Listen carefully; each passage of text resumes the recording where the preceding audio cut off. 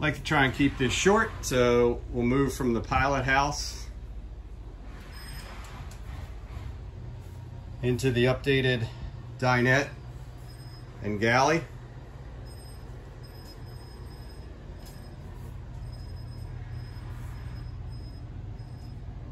Back into the main salon.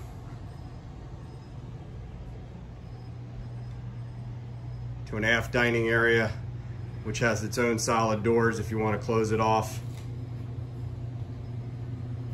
Can take a spin around. Great wet bar area.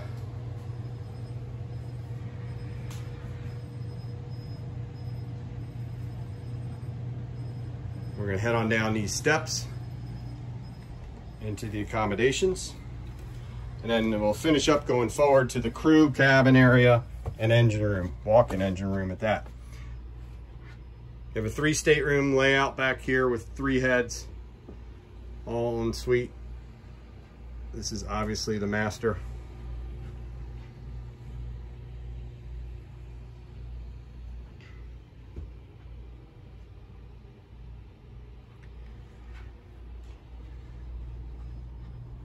Moving forward, port and starboard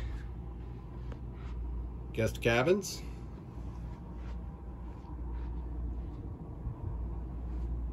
Each with their own head and shower.